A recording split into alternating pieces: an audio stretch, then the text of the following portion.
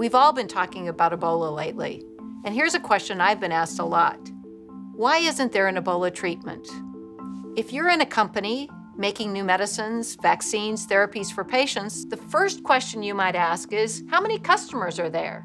From 1976 until 2013, less than 2,000 people across the world had Ebola, and then a sudden uptick to today, more than 13,000 cases of Ebola worldwide. Next, you might ask, who's going to pay? Ebola has hit hardest three West African countries. In these three countries in Africa, on average, 85% of the population lives on less than a dollar per day. Less than a dollar per day. Because of all these factors, we're not meeting the needs of the world's poorest. And as Ebola teaches us, that matters. So what's the solution? How do we make sure that we're ready and that we stop Ebola? First and foremost, we have to act now.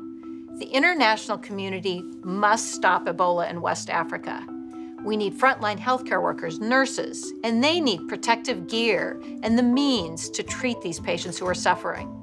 We need products for the poor. We have to put in place systems and risk reduction to allow for companies to get involved.